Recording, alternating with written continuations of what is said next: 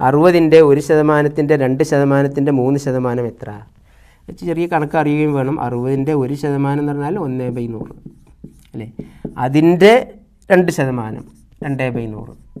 അതിന്റെ മൂന്ന് ബ്രാക്കറ്റിൽ നാല് ഉത്തരങ്ങളുണ്ട്. അത് ഞാൻ പറയുന്നില്ല. അല്ലാതെ തന്നെ കണ്ടെത്താൻ കഴിയും. വാട്ട് ഈസ് ഇംഗ്ലീഷിൽ അതിന്റെ ക്വസ്റ്റ്യൻ ഇങ്ങനെയാണ്. What is one percent of two percent of three percent of sixty അറുപതിന്റെ ഒരു ശതമാനത്തിന്റെ രണ്ട് ശതമാനത്തിന്റെ മൂന്ന് ശതമാനം എത്ര?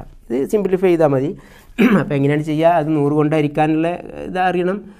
അപ്പോൾ ഇവിടെ ഒരു പൂജ്യം ഒരു പൂജ്യം ഇവിടെ വെട്ടിക്കളഞ്ഞു. പിന്നെ ഉള്ളത് ആറ് ഗുണിക്കണം ഒന്ന് ആറ് ഇന്റു രണ്ട് പന്ത്രണ്ട്. പന്ത്രണ്ട് മൂന്ന് മുപ്പത്താറ്. ആറ് ഗുണിക്കണം രണ്ട് പന്ത്രണ്ട് മൂന്ന് മുപ്പത്താറ്. മുപ്പത്താറ് ബൈ താഴെ അറുപതിലെ ഒരു പൂജ്യം നൂറിലൊരു പൂജ്യം പോയി. ബാക്കി ഇവിടെ ഒന്നും അഞ്ച് പൂജ്യമുണ്ട് ഒരു ലക്ഷം. ഇത് എത്രയെന്നാണ് ഇത് എത്ര എങ്ങനെയാണ് ഇത് കണ്ടെത്തുക? അതിന് ഞാൻ മാത്തമാറ്റിക് കുറച്ച് കണക്കറിയണം. മുപ്പത്താറ് ബൈ പത്ത് എത്രയാണ്? മൂന്ന് പോയിന്റ് ആറാണ്. അല്ലേ? ഇവിടെ ഉള്ള മുപ്പത്താറ് എന്ന് പറയുമ്പോൾ ദശാംശം അവസാനത്തിലാണ്. മുപ്പത്താറ് എന്ന് പറഞ്ഞാൽ മുപ്പത്താറ് പോയിന്റ് പൂജ്യമാണ് കേട്ടോ. അതുകൊണ്ടാണ് ദശാംശം പത്ത് കൊണ്ടായിരിക്കുമ്പോൾ ഒരു സ്ഥാനം ഇങ്ങോട്ട് പോകുന്നത്. ഇനി മുപ്പത്താറ് ബൈ നൂറാണെങ്കിലോ? പൂജ്യം പോയിന്റ് മൂന്ന് ആറാണ്. ഈ ദശാംശം ഒന്നും കൂടി ഇങ്ങോട്ട് വരും. അപ്പോൾ ഇവിടെ ഒരു ദശാംശം ഇട്ടുകൊണ്ട് ഇവിടെ ഒരു പൂജ്യം ചേർത്തുന്നേ ഉള്ളൂ. അപ്പോൾ മുപ്പത്താറ് ബൈ ആയിരം ആകുമ്പോഴോ ഒരു സ്ഥാനം കൂടി അടുത്തോട്ട് വരാൻ നമുക്ക് ഇവിടെ സംഖ്യ അല്ല മൂന്നിന്റെ മുമ്പിൽ അക്കല്ല. അപ്പോൾ നമ്മളൊരു പൂജ്യം ചേർക്കും. പൂജ്യം മൂന്ന് ആറ് എന്നാണ് മുപ്പത്താറ് ബൈ പതിനായിരമാണെങ്കിലോ നാലക്കം ചേർക്കണം. അപ്പോൾ മുപ്പത്ത പൂജ്യം പോയിന്റ് പൂജ്യം പൂജ്യം മൂന്ന് ആറ്. മുപ്പത്താറിന്റെ അവസാനം ഉണ്ടായിരുന്ന ദശാംശം നാല് സ്ഥാനം ഇങ്ങോട്ട് മുന്നോട്ട്. പതിനായിരത്തിൽ നാല് പൂജ്യമാണുള്ളത്. നാല് സ്ഥാനം മുന്നോട്ട് വന്ന് ഇവിടെ എത്തി അപ്പോൾ നമ്മുടെ ചോദ്യം ഇതാണ്. അപ്പോൾ മുപ്പത്താറ് ബൈ ഒരു ലക്ഷം. അഞ്ച് പൂജ്യം വരുമ്പോൾ എന്തായിരിക്കും ഉത്തരം? പൂജ്യം പോയിന്റ് മുപ്പത്താറിൽ രണ്ടാക്കേ ഉള്ളൂ. പിന്നെ അഞ്ച് സ്ഥാനം മുന്നോട്ട് പോകണമെങ്കിൽ മൂന്ന് പൂജ്യം മുന്നിൽ വരണം. ഇതാണ് എന്റെ answer zero point zero zero zero three six അപ്പോൾ മുപ്പത്താറിന്റെ വൺ പെർസെന്റിന്റെ ടു പെർസെന്റിന്റെ ത്രീ പെർസെന്റ് രണ്ട് പന്ത്രണ്ട് മൂന്ന് മുപ്പത്താറ്. അപ്പോൾ അങ്ങനെയാണ് അത്. അപ്പോൾ ഇതൊക്കെ മെന്റൽ എബിലിറ്റിയിലെ ചോദ്യങ്ങളാണ് എന്ന് മനസ്സിലാക്കുക. ഇനി കുടുംബ ബന്ധങ്ങളുമായിട്ടുള്ള ചോദ്യങ്ങളുണ്ടാവും.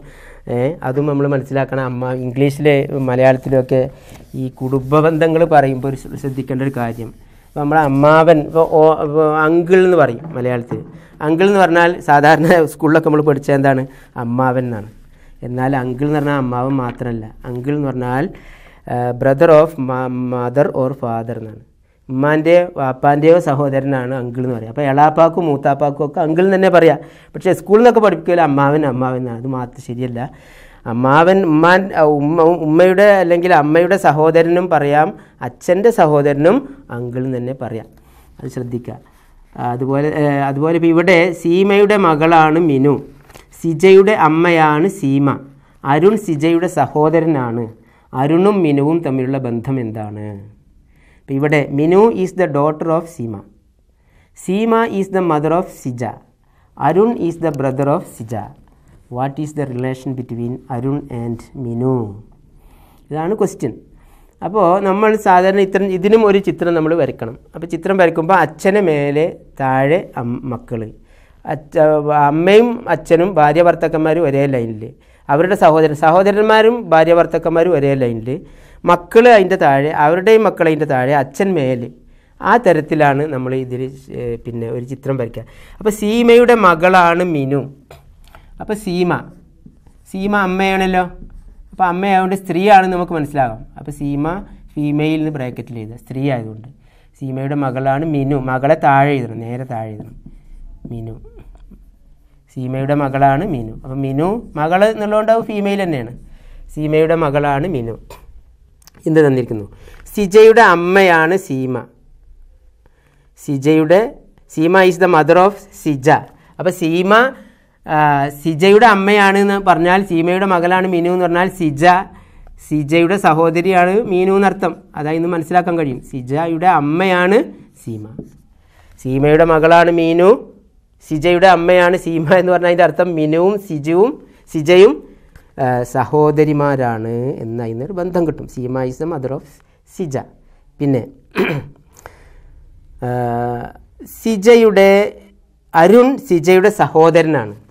അപ്പോൾ അരുൺ സിജയുടെ സഹോദരനാണ്. സിജയുടെ സഹോദരൻ എന്ന് പറഞ്ഞാൽ ഒരേ ലൈൻ തന്നെ എഴുതണം. അപ്പോൾ അരുൺ അരുൺ സ- സഹോദരനാവുമ്പം മെയിലാവും അപ്പോൾ ഈ സീമയുടെ മക്കളാണ് അരുണും സിജയും മിനുവും എന്നർത്ഥം. അരുണും മിനുവും മിനുവും തമ്മിലുള്ള ബന്ധം എന്താ? അരുണും മിനുവും തമ്മിലുള്ള സഹോദരി സഹോദരന്മാരാണ് മെയിൽ ആൻഡ് ഫീമെയിൽ വളരെ വ്യക്തമായിട്ട് കുടുംബ ബന്ധങ്ങൾ അറിയുന്ന ബ്രദർ എന്നുള്ള ഉത്തരം എന്താണ്? ബ്രദർ അച്ഛൻ സഹോദരൻ അപ്പൂപ്പൻ മകൻ നാല് ഉത്തരങ്ങളാണ് കൊടുത്ത്. അപ്പോൾ എന്താണ്? സഹോദരൻ എന്നുള്ളതാണ് ശരിയായ ഉത്തരം. അപ്പോൾ കുടുംബ ബന്ധങ്ങൾ ചോദിക്കാം. അതിന് ഇതുപോലുള്ള ചിത്രം വരച്ച് ഉത്തരം കണ്ടെത്താൻ വളരെ എളുപ്പമാണ്. പിന്നെ മറ്റൊന്നാണ് ഇതിവിടെ കണ്ണാടിയിൽ കാണുക. അത് വളരെ രസകരമായൊരു ചോദ്യമാണ്. ഇപ്പോൾ ഡി എൽ ത്രീ ഇതാണ്. D L three N four six nine F ഇതിന്റെ കണ്ണാടിയിൽ കാണുന്ന പ്രതിബിംബം. ഇത് എഴുതിയിട്ട് ഇങ്ങനെ എഴുതിയിട്ട് ഒരു കണ്ണാടിയിൽ കാണിച്ചാൽ എന്തായിരിക്കും കണ്ണാടിയിൽ കാണുക? അത് നമ്മുടെ നമ്മുടെ ഭാവന അതാണ് ഈ മെന്റൽ എബിലിറ്റി അത് കണ്ണാടിയൊന്നും അപ്പോൾ കിട്ടൂല നോക്കാൻ. അപ്പോൾ അത് മനസ്സിൽ കണ്ടുകൊണ്ട് എഴുതാൻ കഴിയണം. ഉദാഹരണത്തിന് ഈ കണ്ണാടിയിൽ കാണുന്ന വ്യത്യാസം ഉണ്ടല്ലോ ഇപ്പോൾ ഒരാൾ ഭക്ഷണം കഴിക്കുന്നത് കണ്ണാടിയിൽ നോക്കുകയാണെങ്കിൽ നമ്മൾ അയാൾ ഇടത് കൈ കൊണ്ട് ഭക്ഷണം കഴിക്കുന്നതാണ് കാണുന്നത്. ശ്രദ്ധിച്ചിട്ടുണ്ടാവും നിങ്ങൾ അതുപോലെ ക്ലോക്കിൽ അതും ചോദിക്കാറുണ്ട്. ക്ലോക്കിൽ ഇപ്പോൾ മൂന്ന് മണി എന്ന് കാണിക്കുകയാണെങ്കിൽ ഒരു ക്ലോക്കിൽ ഒരു മൂന്ന് മണി എന്ന് കാണിക്കുകയാണെങ്കിൽ ഇപ്പോൾ ഇപ്പോൾ വരയിട്ട് എന്ന് വിചാരിക്കുക ഇതിനൊക്കെ ഏഹ് അങ്ങനത്തെ ക്ലോക്ക് ഉണ്ടാവുമല്ലോ. ഓരോ വര ഇടണേ അപ്പോൾ പിന്നെ മൂന്ന് മണി കാണിക്കുന്ന ക്ലോക്കിന്റെ കണ്ണാടിയിലെ പ്രതിബിംബത്തിൽ എന്തായിരിക്കും എന്നറിയോ? ഒമ്പത് മണിയായിരിക്കും. ഒമ്പത് മണിയാണെങ്കിൽ മൂന്ന് മണിയായിരിക്കും. ഇനി ആറ് മണിക്ക് ആറ് മണി തന്നെ ആയിരിക്കും. പന്ത്രണ്ട് മണിക്കും പന്ത്രണ്ട് മണി. പക്ഷേ പിന്നെ ഇപ്പം ഇങ്ങനെയാണെങ്കിൽ അഞ്ച് മണിയാണെങ്കിലോ ക്ലോക്കിൽ അഞ്ച് മണിയാണെങ്കിൽ കണ്ണാടിയിൽ അതിന്റെ പ്രതിബിംബത്തിൽ ഏഴ് മണിയാണ് കാണിക്കുക. പന്ത്രണ്ടിൽ നിന്ന് അഞ്ച് കുറച്ച്. ആ പന്ത്രണ്ടിൽ നിന്ന് കുറച്ചാൽ മതി. എത്രയാണ്? മൂന്ന് മണിയാണെങ്കിൽ പന്ത്രണ്ടിൽ നിന്ന് മൂന്ന് കുറച്ചാൽ ഒമ്പതാണല്ലോ. അപ്പോൾ ഒമ്പതാണെങ്കിൽ പന്ത്രണ്ടിൽ നിന്ന് ഒമ്പത് കുറച്ചാൽ മൂന്ന്. അപ്പോൾ പന്ത്രണ്ട് മണി പന്ത്രണ്ടിൽ നിന്ന് കുറച്ചാൽ കിട്ടുന്നതായിരിക്കും അതിന്റെ പ്രതിബിംബം. പന്ത്രണ്ട് എന്നുള്ളത് സാധാരണ പന്ത്രണ്ടിൽ നിന്ന് അഞ്ച് മുപ്പത്തഞ്ച് കുറയ്ക്കാൻ പ്രയാസമാണല്ലോ. അപ്പോൾ നമ്മൾ പതിനൊന്ന് അറുപത് എന്നാണ് പറയുക അഞ്ച് മുപ്പത്തഞ്ചിന്റെ പ്രതിബിംബം എത്രയാണെന്ന് ചോദിച്ചാൽ പന്ത്രണ്ടിൽ നിന്നാണ് കുറക്കേണ്ടത് പക്ഷേ പന്ത്രണ്ടിൽ നിന്ന് അഞ്ച് മുപ്പത്തഞ്ച് പലർക്കും കുറയ്ക്കാൻ കഴിയില്ല. അപ്പോൾ പതിനൊന്ന് അറുപത്. പതിനൊന്ന് അറുപത് പറഞ്ഞാൽ പന്ത്രണ്ട് തന്നെയാണല്ലോ. പതിനൊന്ന് അറുപതിൽ നിന്ന് അഞ്ച് മുപ്പത്തഞ്ചാണ് കുറക്കുക. അപ്പോൾ എത്രയാണ്? ഏ ആറ് ഇരുപത്തഞ്ച്. ആറ് ഇരുപത്തഞ്ചായിരിക്കും പിന്നെ ഏഹ്, അഞ്ച് മുപ്പത്തഞ്ചാണ് ക്ലോക്കിലെ സമയമെങ്കിൽ അതിന്റെ പ്രതിബിംബം ആറ് മുപ്പത്തഞ്ചായിരിക്കും. അങ്ങനെ ചോദിക്കാറുണ്ട്. അപ്പോൾ നമ്മുടെ ക്വസ്റ്റ്യനിലേക്ക് തിരിച്ചു വരിക. ഇതാണ്. പിന്നെ മറ്റൊന്ന് മനസ്സിലാക്കാനുള്ളത് കണ്ണാടി എവിടെ വെക്കണം അതിനനുസരിച്ചായിരിക്കും പ്രതിബിംബം ഉണ്ടാകുക. ഏ ഒരു കുട്ടി ഇപ്പോൾ ഇങ്ങനെ നിൽക്കുകയാണെന്ന് വിചാരിക്കാം. അത്- ശ്രദ്ധിക്കാണ്ട്. ഒരു കുട്ടി ഒരു ഇൽക്കിരിക്കുള്ളി ഇങ്ങനെ നിൽക്കുകയാണ്. ഏ ഇങ്ങനെ നിൽക്കുകയാണ് ഇവ ഇവിടെയാണ് കണ്ണാടി എങ്കിൽ. ഇവിടെയാണ് കണ്ണാടി മുന്നിലാണ് കണ്ണാടി. അതിന്റെ പ്രതിബിംബം എങ്ങനെ ആയിരിക്കും ഏ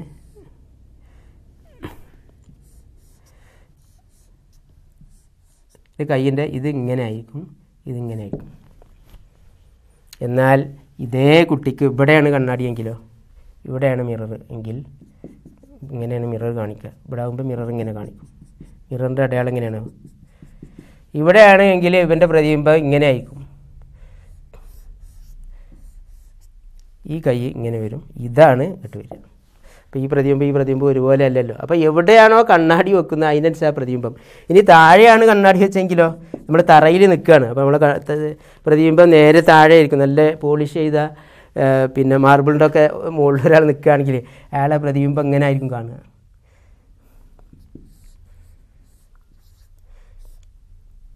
ഇങ്ങനെയാണ് കാണുന്നത് ഇനി മുകളിലാണെങ്കിലോ മുകളിൽ മേലെ മേലെ ഒരു കണ്ണാടി ഉണ്ടെങ്കിൽ അയാൾ പ്രതിബിംബം തലയാണ് അടിയിലുണ്ടാകുക ഏ? ഇങ്ങനെയാണ് വരിക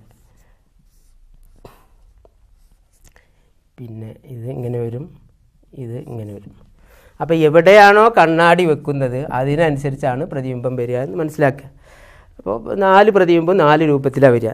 മറ്റൊന്ന് സാധാരണ അങ്ങനെ ഒന്ന് പറഞ്ഞിട്ടില്ലെങ്കിൽ കണ്ണാടിയുടെ ചിത്രം തന്നിട്ടില്ലെങ്കിൽ കണ്ണാടി എവിടെ തന്നിട്ടുണ്ടെങ്കിൽ അതിനനുസരിച്ച് പ്രതിബിംബം വരയ്ക്കാൻ കഴിയണം. കണ്ണാടി തന്നിട്ടില്ലെങ്കിൽ നമ്മൾ എന്ത് ചെയ്യണം? സാധാരണ ഇത് എഴുതിയിട്ട് കണ്ണാടിയിൽ നോക്കുന്നത് കണ്ട്. അല്ലേ? ഇപ്പോൾ അരീക്കോട്. അരി അരീക്കോട് എന്ന് കണ്ണാടിയിൽ എഴുതിയാൽ എങ്ങനെ പ്രതിബിംബം വരിക? ചിലർ പെട്ടെന്ന് എഴുതുവതാ ഇങ്ങനെയാണ് വരിക. ചില കുട്ടികൾ കാണാതെ വേഗം എഴുതണ്. ഇങ്ങനെയാണ് വരിക. അരീക്കോട്. അതുപോലെ ഈ D L three N four four six nine F എന്നുള്ളത് പിന്നെ അതിന്റെ പ്രതിബിംബം വരുമ്പോൾ പിന്നെ ഇങ്ങനെയാണ് വരിക. ആദ്യം ഡി ഇങ്ങോട്ട് D L three N four six nine F. ഇങ്ങനെയാണ് ഇതിന് പ്രതിബിംബം വരിക. അപ്പോൾ ഇത് ആ ഉത്തരം ഇതിൽ ഇതിൽ തന്നിരിക്കുന്ന ആൻസറുകളിൽ ഡി എൽ ത്രീ ഇതുപോലുള്ളത് ഏതാണ് നോക്കുക? D L three N four six nine F ആ ഇതന്നെ. ഫസ്റ്റ് ആൻസർ തന്നെ. ഇതിൽ കൊടുത്തിരിക്കുന്ന മുപ്പത്തേഴാം കഴിഞ്ഞ കൊല്ലത്തിൽ മുപ്പത്താമത്തെ മുപ്പത്തിയേഴാമത്തെ ചോദ്യമാണ് ഫസ്റ്റ് ആൻസർ തന്നെയാണ്. അപ്പോൾ തൽക്കാലം അപ്പോൾ ഇതാണ് ഇതിന്റെ പിന്നെ പ്രതിബിംബം എഴുതി പഠിക്കുന്ന വേണം. നിങ്ങൾ ശ്രദ്ധിക്കുക പ്രതിബിംബത്തിന്റെ ചോദ്യം ഉണ്ടാകാറുണ്ട്. ഒരു അക്ഷരത്തിന്റെ ഇപ്പോൾ ചില വാക്കുകൾ ഇപ്പോൾ ഏന്ന് എഴുതിയാൽ അതിന്റെ പ്രതിബിംബം കണ്ണാടി വെച്ചാൽ ഏ തന്നെ ആയിരിക്കും. മാറ്റം ഉണ്ടാവില്ല. ചിലത് ഇപ്പോൾ അതുപോലെ തന്നെ ഡബ്ല്യു ഡബ്ല്യു എഴുതിയാൽ ഡബ്ല്യു തന്നെയാണ് പ്രതിബിംബം ഉണ്ടാകുക. എന്നാൽ പി എന്ന് എഴുതിയാൽ ഇങ്ങനെയാണ് വരിക തിരിച്ചാണ് വരിക. അപ്പോൾ അതൊക്കെ നിങ്ങൾ മനസ്സിലാക്കി വെക്കുക. പ്രതിബിംബത്തിന്റെ ചോദ്യങ്ങൾ ഉണ്ടാകാറുണ്ട്. രണ്ട് ചോദ്യമാണ് ഇതിൽ നിന്ന് ചോദിച്ചത്. മറ്റൊന്ന് ഏറ്റവും എളുപ്പമുള്ള ഒരു ചോദ്യം. ആകാശം സമുദ്രമാണെങ്കിൽ സമുദ്രം ജലമാണെങ്കിൽ ജലം വായു ആണെങ്കിൽ വായു മേഘമാണെങ്കിൽ മേഘം നദിയാണെങ്കിൽ ദാഹിക്കുമ്പോൾ നമ്മൾ എന്തു കുടിക്കും? If the sky is sea, sea is water, water is air, air is cloud and cloud is river, then what do we drink when thirsty? വളരെ എന്താ എളുപ്പമുള്ള ചോദ്യമാണ് നമ്മൾ ദാഹിക്കുമ്പോൾ നമ്മൾ എന്ത് കുടിക്കും? എല്ലാവർക്കും അറിയാം ദാഹിക്കുമ്പോൾ കുടിക്കുന്നത് വെള്ളമാണ്. പക്ഷേ വെള്ളം എഴുതിയാൽ ഉത്തരം തെറ്റും. ജലം അല്ലെങ്കിൽ ജലം എന്നാണ് ഇതിൽ വായി ദാഹിക്കുമ്പോൾ നമ്മൾ എന്ത് കുടിക്കുന്നതിൽ ജലം എഴുതിയാൽ തെറ്റായ ഉത്തരമാണ് എന്താണ്? ജലം ആകാശം സമുദ്രമാണ്. അപ്പോൾ ആകാശത്തിനെ വിളിക്കുന്നത് സമുദ്രം എന്നാണ്. സമുദ്രം ജലമാണ്. സമുദ്രത്തെ വിളിക്കുന്നത് ജലമാണ്. ജലം വായു ആണെങ്കിൽ. അപ്പോൾ ജലത്തെ വിളിക്കുന്നത് വായു എന്നാണ്. ഇവിടെ ക്വസ്റ്റ്യനിൽ വാട്ടർ ഈസ് എയർ എന്ന് പറഞ്ഞിട്ടുണ്ട്. അപ്പോൾ ജലം എന്നുള്ളതിന് ആ നാട്ടിൽ വിളിക്കുന്നത് വായു എന്നാണ്. അതുകൊണ്ട് നമ്മൾ എന്ത് ചെയ്യും? അപ്പോൾ ഉത്തരം എന്താണ്? ദാഹിക്കുമ്പോൾ നമ്മൾ എന്ത് കുടിക്കും? ദാഹിക്കുമ്പോൾ കുടിക്കുന്നത് ജലമാണ്. പക്ഷേ ജലം വായുവാണ് ക്വസ്റ്റ്യനിൽ തന്നിരിക്കുന്നു. അപ്പോൾ ഉത്തരം വായു എന്നാണ്. വായു എന്ന് ഉത്തരം എഴുതിയവർക്കാണ് മാർക്ക് കിട്ടുള്ളൂ എന്ന് മനസ്സിലാക്കുക. മറ്റൊരു ക്വസ്റ്റ്യൻ ദിക്ക് തിരഞ്ഞെടുക്കുന്ന ഒരു ചോദ്യമാണ്. ഒരു ദിവസം രാവിലെ സൂര്യോദയത്തിന് ശേഷം സനീഷ് ഒരു തൂണിനെ അഭിമുഖമായി നിൽക്കുകയായിരുന്നു. തൂണിന്റെ നിഴൽ അവന്റെ വലതുവശത്താണെങ്കിൽ സനീഷ് ഏത് ദിശയെ നോക്കി നിൽക്കുന്നു? അതാണ് ഈ ദിക്കുകൾ അറിയുമോ എന്നുള്ളതാണ്. നമുക്കറിയാം നാല് ദിക്കുകളാണ് ഉള്ളത്. നാലല്ല എട്ട് ദിക്കുണ്ട്. പ്രധാനമായിട്ടും നാല് ദിക്കുകളാണുള്ളത്. ഏതൊക്കെയാണത്? സാധാരണയായിട്ട് നോർത്ത് വടക്ക് മുകളിലേക്കായിരുന്നു. നോർത്ത് മുകളിലൊന്നും അല്ല എന്നാലും അങ്ങനെയാണ് മാപ്പിൽ അടയാളപ്പെടുത്തുക. സൗത്ത് തെക്ക് പിന്നെ ഇത് കിഴക്ക് ഈസ്റ്റ് ഇവിടെ വെസ്റ്റ്. ഇങ്ങനെയാണ് സാധാരണ പടിഞ്ഞാറ്. തെക്ക് കിഴക്ക് വടക്ക്. ഇങ്ങനെ നാല് ദിക്കുകളാണ്. പിന്നെ അതിന്റെ അടുക്ക് ഇങ്ങനെ ഒരു ഇങ്ങനെ ദിക്കുണ്ട്. അതായത് നോർത്ത് ഈസ്റ്റ് എന്ന് പറയുന്നത്. അതുപോലെ ഇവിടെ ആകുമ്പോൾ സൗത്ത് ഈസ്റ്റ് ആണത്. ഇങ്ങനെ ആകുമ്പോൾ ഇത് സൗത്ത് വെസ്റ്റ് ആണ്. അതായത് തെക്ക് പടിഞ്ഞാറാണ്. ഇങ്ങോട്ട് വരുമ്പോൾ പിന്നെ നോർത്ത് വെസ്റ്റാണ് വടക്ക് പടിഞ്ഞാറാണ്. ഇങ്ങനെ നാല് ദിക്കും കൂടി കൂടി ആകെ എട്ട് ദിക്കുകളായിട്ടാണ് സാധാരണ നമ്മൾ പറയാറുള്ളത്. അഷ്ടദിക്കുകൾ എന്നൊക്കെ പക്ഷെ തൽക്കാലം ഈ ചോദ്യത്തിൽ അതൊന്നും വരുന്നില്ല. അതുകൊണ്ട് രാവിലെ സൂര്യോദയത്തിന് ശേഷം സൂര്യോദയം നമുക്ക് സൂര്യോദയം എന്ന് പ്രത്യേകം പറയാൻ കാരണം സൂര്യൻ ഉദിക്കുന്നത് കിഴക്ക് ഭാഗത്താണെന്ന് നമുക്കറിയാം. അതറിയണം. ഒരു തൂണിന് സൂര്യോദയത്തിന് ശേഷം ഒരു തൂണിന് അഭിമുഖം സൂര്യോദയം നടക്കുകയാണ്. അപ്പോൾ ഒരു തൂണിന് മുന്നിൽ നിൽക്കുകയാണ്. തൂണിന്റെ നിഴൽ അവന്റെ വലതുവശത്താണ്. തൂണിന്റെ നിഴൽ എവിടെയാണ് ഉണ്ടാകുക? അത് മനസ്സിലാക്കണം. ഒരു തൂണ് സൂര്യൻ ഉദിക്കുമ്പോൾ തൂണിന്റെ നിഴൽ പടിഞ്ഞാറ് ഭാഗത്തേക്കായിരിക്കും. അപ്പോൾ എപ്പോഴായാലും ഈ തൂണിന്റെ നിഴൽ എന്തായാലും പടിഞ്ഞാറിനായി അപ്പോൾ ഇങ്ങോട്ട് ഇതാണല്ലോ കിഴക്ക്. പടിഞ്ഞാറ് ഭാഗത്തേക്ക്. ഇവിടെ തൂണുണ്ടെങ്കിൽ പടിഞ്ഞ് അപ്പോൾ ഇത് നിൽക്കുന്ന ആൾക്കനുസരിച്ച് ഇത് ഇടതു ഇവിടെ നിൽക്കുകയാണെങ്കിൽ അയാളുടെ ഇടതുവശത്തേക്കാണ്. ഇവിടെ നിൽക്കുകയാണെങ്കിൽ അവിടെ അവിടുന്ന് ഇങ്ങോട്ട് തിരിഞ്ഞ് നിൽക്കുകയാണെങ്കിൽ അയാളുടെ ഇത് അയാളുടെ വലതുവശത്താണല്ലോ. അപ്പോൾ ഇവിടെ ഏത് വശത്താണ്? അഭിമുഖമായി നിൽക്കുകയായിരുന്നു. തൂണിന്റെ നിഴൽ അവന്റെ വലതുവശത്താണ്. അപ്പോൾ തൂ ഇങ്ങോട്ട് അവന്റെ വലതുവശത്തേക്ക് നിൽക്കണമെങ്കിൽ അവൻ ഇങ്ങോട്ട് അഭിമുഖമായിട്ട് നിൽക്കണം. അതായത് തെക്കോട്ട് തിരിഞ്ഞ് നിൽക്കുന്ന ആൾക്കാണ് ഈ വലതുവശം പടിഞ്ഞാറാകുക. വലതുവശം പടിഞ്ഞാറാകുക. നേരെ മറിച്ച് വടക്കോട്ട് തിരിഞ്ഞെടുക്കുന്ന ആളുടെ വലതുവശം കിഴക്കായിരിക്കും. അപ്പോൾ സൂര്യോദയ സമയത്ത് ഏതൊരു വസ്തുവിന്റെയും നിഴൽ പടിഞ്ഞാറ് ഭാഗത്തേക്കായിരിക്കും. അപ്പോൾ പടിഞ്ഞാറ് ഭാഗത്തേക്ക് പടിഞ്ഞാറ് ഭാഗം ഒരാളുടെ വലതുവശമായി മാറണമെങ്കിൽ തൂണിന്റെ നിഴൽ അവന്റെ വലതുവശം തൂണിന്റെ നിഴൽ പടിഞ്ഞാറ് ഭാഗത്തേക്കാണ്. അപ്പോൾ തൂണിൻ അഭിമുഖമായി നിൽക്കുമ്പോൾ തൂണിന്റെ നിഴൽ അവന്റെ വലതുവശത്താകണമെങ്കിൽ അവൻ ഇങ്ങോട്ട് തെക്കോട്ട് തെക്കോട്ട് തിരിഞ്ഞ് നിൽക്കുന്ന ആളുടെ വലതുവശമായിരിക്കും പടിഞ്ഞാറ് എന്ന് മനസ്സിലാക്കുക. തെക്കോട്ട് തിരിഞ്ഞ് നിൽക്കുന്ന ആളുടെ വലതുവശം പടിഞ്ഞാറും ഇടതുവശം കിഴക്കുമായിരിക്കും. നേരെ മറിച്ച് കിഴക്കോട്ട് തിരിഞ്ഞിക്കാണ് ഒരാൾ കിഴക്കോട്ട് തിരിഞ്ഞിക്കുകയാണെങ്കിൽ അയാളുടെ വലതുവശം തെക്കായിരിക്കും ഇടതുവശം വടക്കുമായിരിക്കും. അപ്പോൾ അതൊക്കെ നിങ്ങൾ സ്വന്തമായിട്ട് എഴുതി മനസ്സിലാക്കുക. ദിക്കുകൾ തമ്മിലുള്ള ബന്ധം കണ്ടെത്തുക എന്നുള്ളതാണ് അതിൽ ചെയ്യാനുള്ളത്. മറ്റൊന്ന് ഇംഗ്ലീഷ് അക്ഷരമാലയിലെ അക്ഷരങ്ങൾ തമ്മിലുള്ള ബന്ധം കണ്ടെത്തുക. അപ്പോൾ ഇതിൽ ഞാനൊന്ന് ആ തുടക്കത്തിൽ പറയാൻ വിട്ടുപോയതാണ്. ഈ മെന്റൽ എബിലിറ്റി ക്വസ്റ്റ്യൻ പേപ്പർ കിട്ടിയാൽ ഞാൻ നേരത്തെ പറഞ്ഞു അതിന്റെ അവസാന പേജിൽ പിന്നെ സ്പേസ് ഫോർ റഫ് വർക്ക് എന്നുള്ള സ്ഥലത്ത് നിങ്ങൾ എന്ത് ചെയ്യണം? മെന്റൽ എബിലിറ്റി ക്വസ്റ്റ്യൻ പേപ്പർ കിട്ടിയല്ല എ മുതൽ സെഡ് വരെ ഒന്ന് എഴുതണം. എ ബി എല്ലാം എഴുതണം. ഫുള്ള് എഴുതണം. അതിന്റെ അടുക്ക് വിട്ടുപോയത് അങ്ങനെ സെഡ് വരെ എഴുതുക.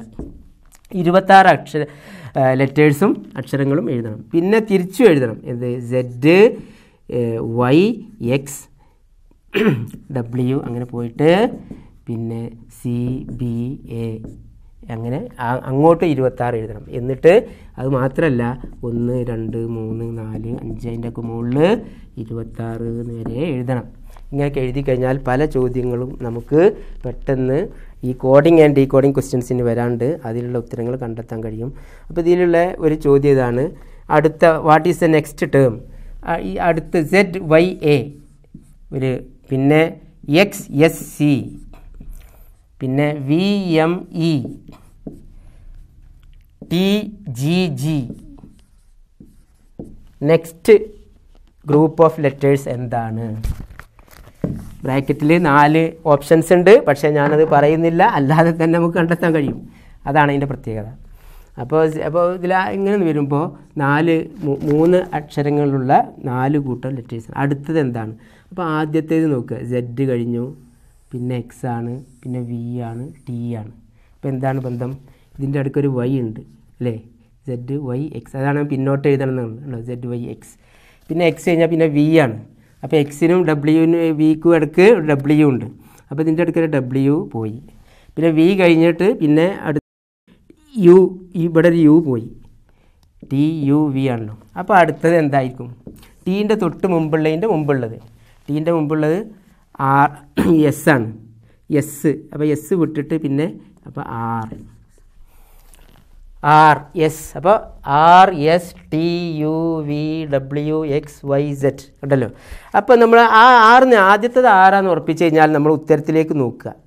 എന്താണ് ഉത്തരത്തിൽ? R A I S A Q അപ്പോൾ അത് ഏതായാലും അല്ല. പിന്നെ R A G R A G അപ്പോൾ ആറ് കൊണ്ട് തുടങ്ങുന്ന മൂന്നെണ്ണം ആൻസറിലുണ്ട് അപ്പോൾ നമ്മൾ പിന്നെ അടുത്തേക്ക് നോക്കണം. നേരെ മറിച്ച് ആറ് കൊണ്ട് തുടങ്ങുന്ന ഒറ്റ ഒന്നേ ഈ പിന്നെ നാല് ആൻസറിലുള്ളൂ എങ്കിൽ നമ്മൾ അവിടെ നിർത്തി അത് തന്നെ എഴുതുക. ബാക്കിയുള്ളേക്ക് തിരിഞ്ഞ് സമയം കളയരുത്. അതല്ലാതെ വേറെ ആൻസർ വരാൻ സാധ്യതയില്ല. പക്ഷേ നമുക്ക് തന്നിരിക്കുന്ന ഓപ്ഷനിൽ ആറ് കൊണ്ട് തുടങ്ങുന്ന രണ്ടെണ്ണം കൂടിയുണ്ട്. അപ്പോൾ പിന്നെ അടുത്തതും കൂടി നോക്കുക. പിന്നെ വൈ എസ് എം ജി അപ്പോൾ എത്ര വിട്ടിട്ടുണ്ട് നോക്കുക. എസ് കഴിഞ്ഞാൽ പിന്നെ വൈ കഴിഞ്ഞ് പിന്നെ എസ്സിലേക്ക് എത്ര ഉണ്ട് T U V W X ഉണ്ട്. പിന്നെ വൈ എസ് പിന്നെ എം ആണ്. എമ്മിലേക്ക് എൻ എക്സ് എസ് ആണ്. എസ് എസ്സിലേക്കാണ് അപ്പോൾ എസ്സിലേക്ക് എത്ര ഉണ്ട്? M N O P Q R പിന്നെയാണ് എസ് അപ്പോൾ ഇതിന്റെ അടുക്ക് ഒന്ന് രണ്ട് മൂന്ന് നാല് അഞ്ചെണ്ണം ഉണ്ട്. നേരത്തെ ഇതിന്റെ അടുക്കും അഞ്ചെണ്ണം ഉണ്ടായിരുന്നു. അപ്പോൾ ഇവിടെ ഈ ഇനി ജി കഴി അടുത്തത് ജി ആണ്. ജീന്റെയും എമ്മിന്റെയും അടുക്ക് F G H I J K L പിന്നെയാണ് എം അപ്പോൾ ഇടയ്ക്ക് അഞ്ചെണ്ണം ഉണ്ട്. അപ്പോൾ പിന്നെ ഇവിടെ ജി ഈ ജീന്റെ മുമ്പ് ഇതിന്റെ അടുക്ക് അഞ്ചെണ്ണം വേണം. അപ്പോൾ ഏതൊക്കെയാണ്? B C D E F B C D E F B C D E F അപ്പോൾ അഞ്ചെണ്ണം വന്നു ജി. അപ്പോൾ ഇവിടെ എന്തായിരിക്കണം? ബീന്റെ അപ്പുറത്തുള്ള എ ആയിരിക്കണം. എക്കും ജിക്കും ഇടയ്ക്ക് അഞ്ചെണ്ണം വേണം. ഇവിടെ ജിക്കും എമ്മിനും ഇടയ്ക്ക് അഞ്ചെണ്ണം ഉള്ളതുപോലെ. അപ്പോൾ ഇവിടെ ഉള്ളത് എ ആയിരിക്കണം. അപ്പോൾ അടുത്തത് എ. അപ്പോൾ ആർ എ. ആർ എ കൊണ്ട് തുടങ്ങുന്ന രണ്ടെണ്ണം ഉണ്ട്. അപ്പോൾ പിന്നെ മൂന്നാ മൂന്നെണ്ണം ആർ എ കൊണ്ട് തന്നെയാണ്. അപ്പോൾ പിന്നെ ജെ നോക്കിയാൽ മതി. ജെ എന്താണ്? അടുത്തത് എന്താണ്? എ കഴിഞ്ഞാൽ സി ആണ്. പിന്നെ ഇ ആണ് പിന്നെ ജി ആണ്. വളരെ എളുപ്പത്തിൽ കാണാൻ കഴിയും. എ കഴിഞ്ഞ് ബി സി സി കഴിഞ്ഞ് ഡി ഇ ഇ എഫ് ഇവിടെ ഉണ്ട്. അപ്പോൾ ജി എച്ച് കഴിഞ്ഞ് E F G H I ആണ്. അപ്പോൾ ആർ എ ഐ എന്നാണ് അതിന്റെ ശരിയായ ആൻസർ എന്ന് കാണാൻ കഴിയും. അപ്പോൾ ഇതിലെ ഇത്തരത്തിലുള്ള മൂന്ന് ചോദ്യം രണ്ട് ചോദ്യം കൂടിയുണ്ട് ഞാൻ ഒന്ന് മാത്രം പറഞ്ഞാൽ മതിയല്ലോ. ബാക്കി അതുപോലെ നിങ്ങൾ നിയമങ്ങൾ ഉപയോഗിച്ചിട്ട് അത് കണ്ടെത്തുക. അപ്പോൾ ഇംഗ്ലീഷ് അക്ഷരമാലയിലെ അക്ഷരങ്ങൾ ഉപയോഗിച്ചിട്ടുള്ള വാക്കുകൾ കൊണ്ടുള്ള കോഡിങ് ആൻഡ് ഈ കോഡിങ്ങിന് വരാനുണ്ട്. അപ്പോൾ നിങ്ങൾ ഈ അക്ഷരമാലയുടെ ഇട കഴിയുമെങ്കിൽ നിങ്ങൾ പിന്നെ ഒന്ന് പത്താമത്തെ അക്ഷരം ഏതാണെന്ന് ചോദിച്ചാൽ ഉടനെ നിങ്ങൾക്ക് പറയാൻ കഴിയണം. ജെ എന്ന് പറയാൻ കഴിയണം. അപ്പോൾ അതിന് ഓർമ്മിക്കാനുള്ള ഒരു എളുപ്പമാർഗം ഞാൻ പറഞ്ഞുതരാം. ഇജോട്ടി എന്ന വാക്ക് പഠിച്ചു വെക്കുക ഇജോട്ടി. ഇജോട്ടി എന്ന് പറഞ്ഞാൽ അത് ഇംഗ്ലീഷ് വാക്കൊന്നും അല്ല ഡിക്ഷണറിയിൽ കാണൂല.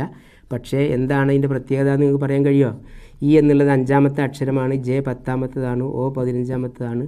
ടി ഇരുപതാമത്തതാണ്. വൈ ഇരുപത്തഞ്ചാമത്തെ അക്ഷരം. അപ്പോൾ നമുക്ക് എഫ് ഇപ്പോൾ കെ എത്രാമത്തെന്ന് പറഞ്ഞാൽ ജെ കെ. ജെ പത്താന്ന് അറിയുന്നവർക്ക് കെ പതിനൊന്നാന്ന് പറയാൻ കഴിയും. അങ്ങനെ ക്യൂ എത്രാമത്തതാണെന്ന് പറഞ്ഞാൽ ഒ പി ക്യൂ. ഒ പതിനഞ്ചാണ്. അപ്പോൾ ക്യൂ പതിനേഴായിരിക്കും എന്ന് നമുക്ക് ആ ബന്ധം ഉപയോഗിച്ച് നമുക്ക് പറയാൻ കഴിയും. അപ്പോൾ അതാണ് അതിന്റെ മറ്റൊരു ടൈപ്പ് ക്വസ്റ്റ്യൻസ്. ഇനി ഇതാ വേറൊരു ചോദ്യം.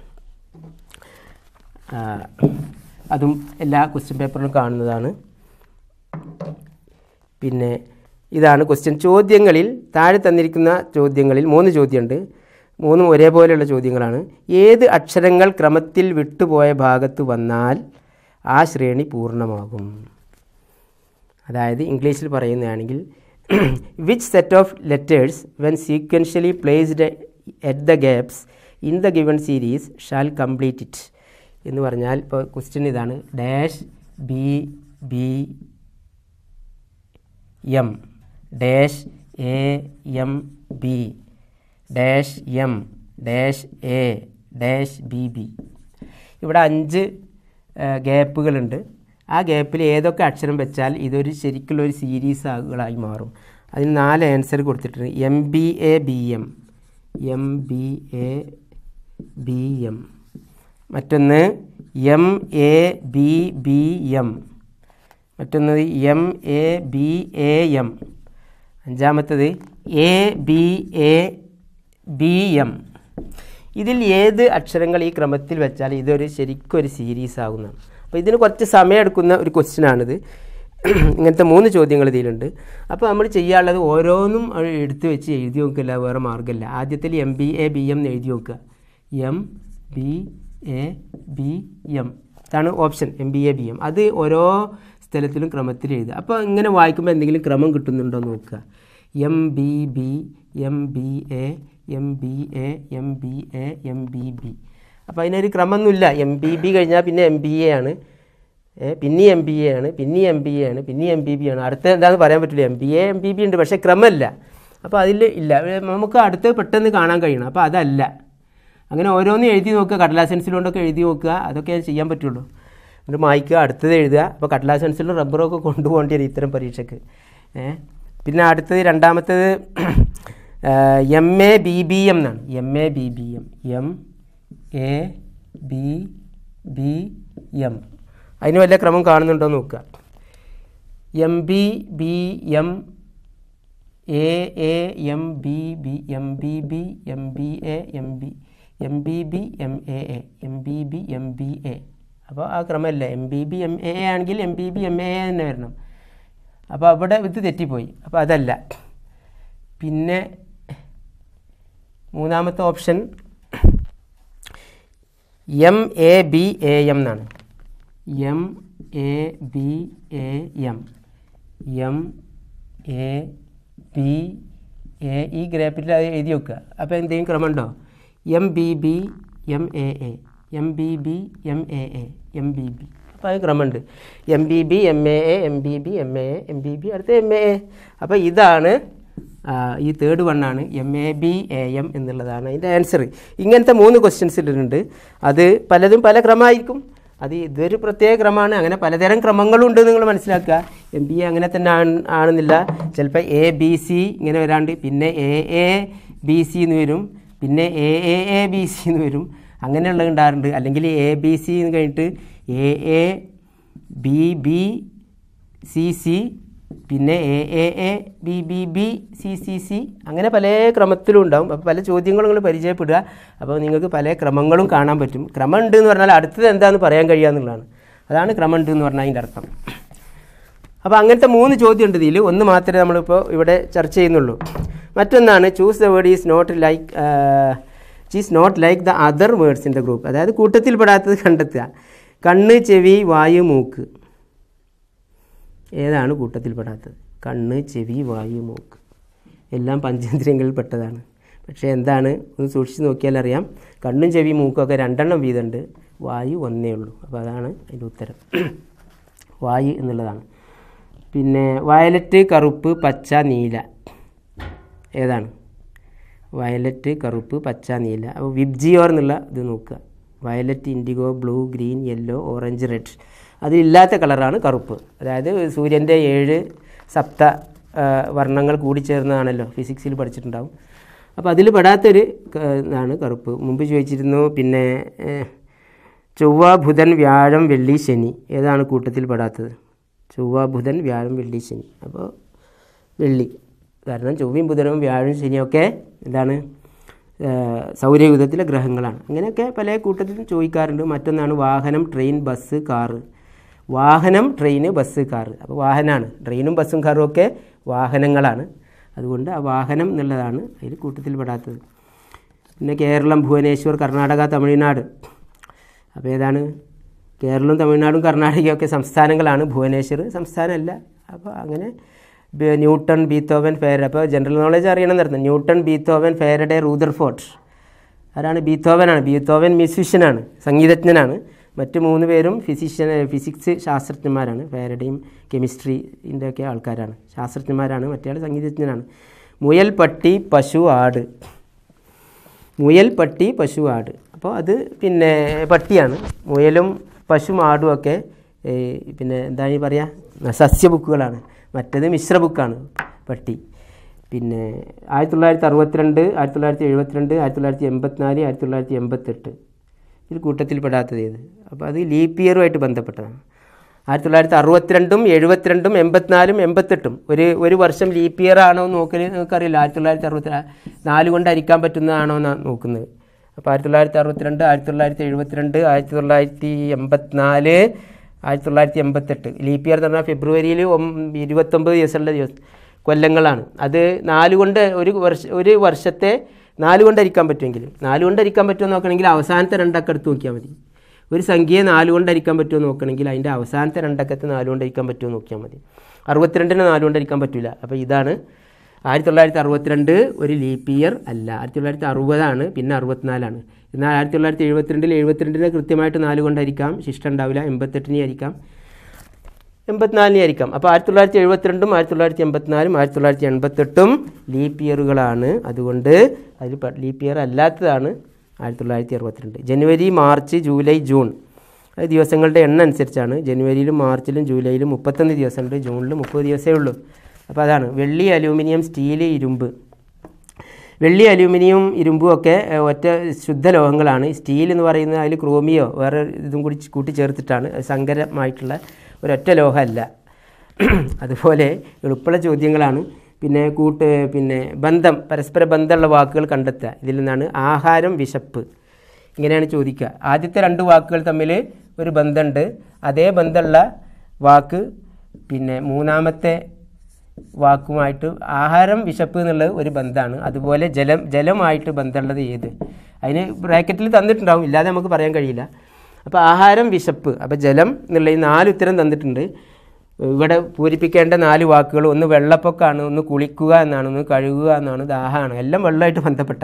അപ്പോൾ ഇവിടെ ഇവിടെ ആഹാരം വിശപ്പുമായിട്ടുള്ള ആഹാരത്തിന് വിശപ്പിനോട് എന്താ ബന്ധം? അതേ ബന്ധം ജലത്തിന് ഉള്ള വാക്കിയത് ആഹാരം വിശപ്പായിട്ടുള്ള ബന്ധമാണ്. വിശപ്പ് മാറാനാണ് ആഹാരം കഴിക്കുന്നത്. അതാണ് ബന്ധം. അപ്പോൾ ഇവിടെ വെള്ളപ്പൊക്കം മാറാനാണല്ലോ ജലം. പിന്നെ കുളിക്കുക എന്നുള്ളത് മാറാനല്ല ജലം. കഴുകുക എന്നുള്ളത് മാറാനുമല്ല ജലം. മൂന്നും തെറ്റാണെങ്കിൽ നാലാമത്തെ ഉറപ്പായിട്ടും ദാഹം. ദാഹം മാറാനാണ് ജലം കുടിക്കുന്നത്. അപ്പോൾ ഇത്തരം ചോദ്യങ്ങൾ വേറൊന്നും കൂടി ഞാൻ പറയാൻ പറ്റതാണ് ആദ്യത്തെ മൂന്ന് തെറ്റാണ്. അല്ലെങ്കിൽ ഏതെങ്കിലും മൂന്നെണ്ണം തെറ്റാണെന്ന് ഉറപ്പുണ്ടെങ്കിൽ നാലാമത്തത് നാവികൻ ഡാഷ്. അധ്യാപകൻ സ്കൂൾ നാവികൻ ഡാഷ്. ഏത്? അധ്യാപിക. അധ്യാപിക സ്കൂൾ നാവികൻ ഡാഷ്. അതായത് ടീച്ചർ സ്കൂൾ സെയിലർ ഡാഷ്. അധ്യാപികയും സ്കൂളും തമ്മിലുള്ള ബന്ധം എന്താണ്? നാവികനുമായിട്ടുള്ള ബന്ധം. അധ്യാപിക സ്കൂളിൽ പഠിപ്പിക്കുന്നു.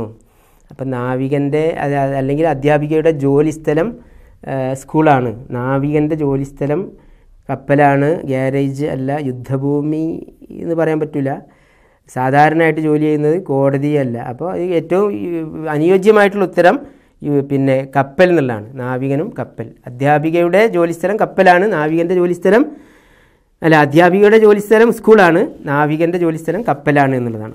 പത്രം എഡിറ്റർ. സിനിമ നടൻ നിർമ്മാതാവ് സംവിധായകൻ പ്രേക്ഷകൻ. സിനിമയായിട്ട് ബന്ധമുള്ളവർക്കറിയാം.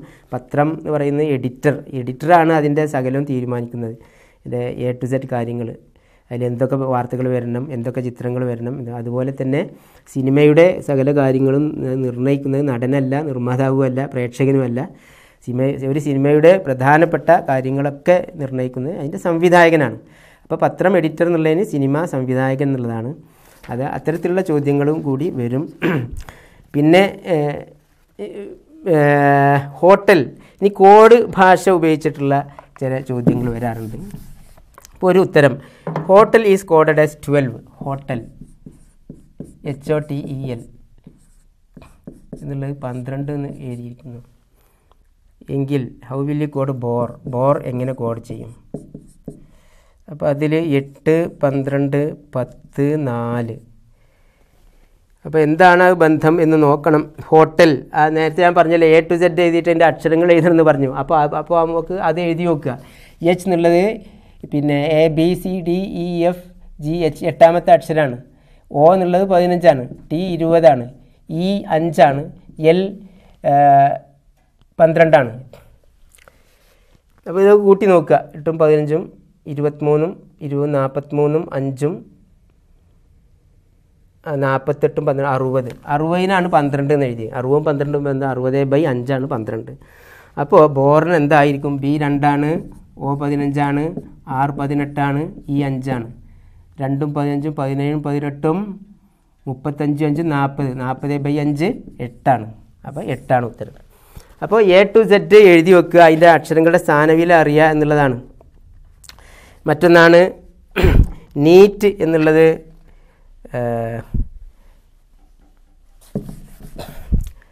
ഗോട്ട് ഗോട്ട് എന്നുള്ളത് എഴുതിയിരിക്കുന്നത്. ജി ഒ എ ടി എന്നുള്ളത് എഴുതിയിരിക്കുന്നത്. ഏഴ് പതിനഞ്ച് ഒന്ന് ഇരുപത്.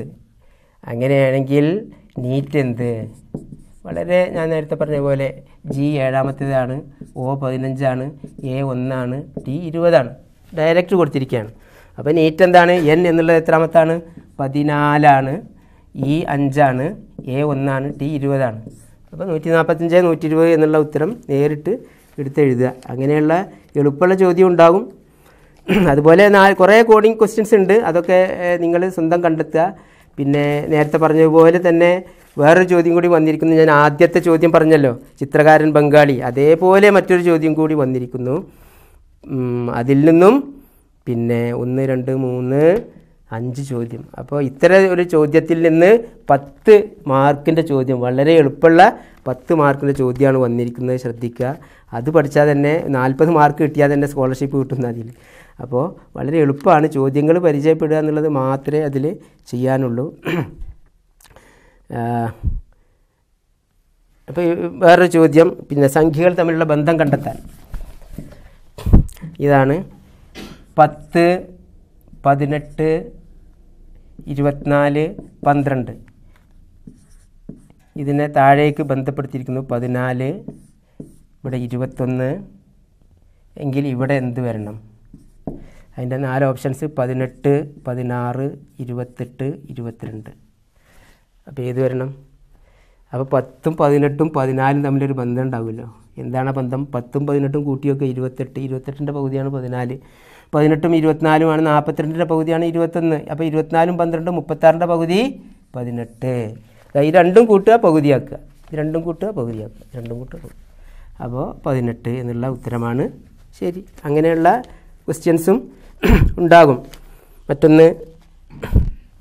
അപ്പോൾ ചിലത് അപ്പോൾ ഇത്തരം ചോദ്യം ഞാൻ നിങ്ങൾ ശ്രദ്ധിക്കേണ്ട ഒരു കാര്യം. എല്ലാ കുട്ടികളും ശ്രദ്ധിക്കേണ്ട ഒരു കാര്യം ചില ചോദ്യത്തിൽ കുറേ ആലോചിക്കേണ്ടി വരും. ഇപ്പോൾ ഇതൊക്കെ ചിലതൊക്കെ എളുപ്പത്തിൽ കിട്ടും ചിലത് നല്ലതോ ആലോചിച്ചാലേ കിട്ടുള്ളൂ. അപ്പോൾ അത്തരം ചോദ്യങ്ങൾ നിങ്ങൾ അവസാനത്തിലേക്ക് മാറ്റി വെക്കുക. ആലോ ഓരോ ചോദ്യം ക്രമത്തിന്റെ ക്രമത്തിൽ എഴുതണമെന്നില്ല. ഈ തൊണ്ണൂറ് ചോദ്യത്തിൽ നിങ്ങൾക്ക് നിങ്ങൾക്ക് ആദ്യം അറിയുന്ന എളുപ്പത്തിൽ നമ്മൾ ചില എളുപ്പമുള്ള ചോദ്യം കണ്ടല്ലോ. എളുപ്പമുള്ള ചോദ്യങ്ങളൊക്കെ ആദ്യമാണ് ചെയ്യുക.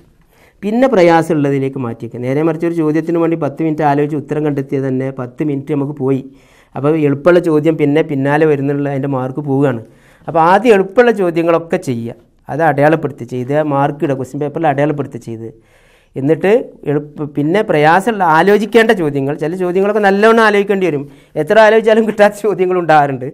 അത് അതൊക്കെയാണ് വിടുക എന്നല്ലാതെ അതിമേൽ അധികം ആലോചിക്കരുത്. അപ്പോൾ പിന്നെ അത് അതാണ് പറയാനുള്ളത്. ഇപ്പോൾ ഈ അങ്ങനെയുള്ളൊരു ചോദ്യമാണിത്. ഇരുപത്തേഴ് ഒമ്പത് ഇരുന്നൂറ്റി നാൽപ്പത്തി മൂന്ന് പലർക്കും അത് ബന്ധം അറിയില്ല.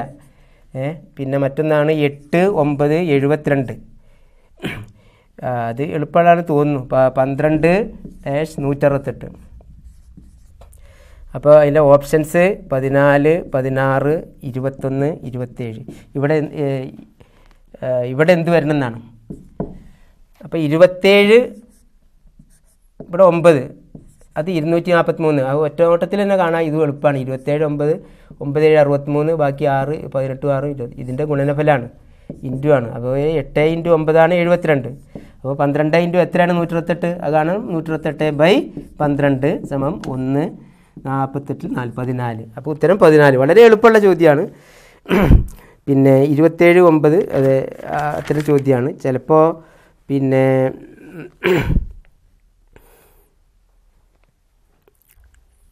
ഒരു വൃത്തം വരച്ചിരിക്കുന്നു. അതിനെ എട്ട് ഭാഗമാക്കി ഇങ്ങനെ എട്ട് ഭാഗമാക്കി ഇവിടെ ഇവിടെ ക്വസ്റ്റ്യൻ മാർക്കാണ് ഏഴ് അഞ്ച് മൂന്ന് നാല് രണ്ട് നൂറ്റി ഇരുപത്തിനാല് ഇരുപത്താറ് എന്നാണ് കൊടുത്തത്. അപ്പോൾ എന്താണ് അവിടെ എഴുതേണ്ടത്? ഇരുപത്തഞ്ച് പതിനാറ് നാൽപ്പത്തൊമ്പത് അറുപത്തിമൂന്ന് എന്നാണ് ഓപ്ഷൻ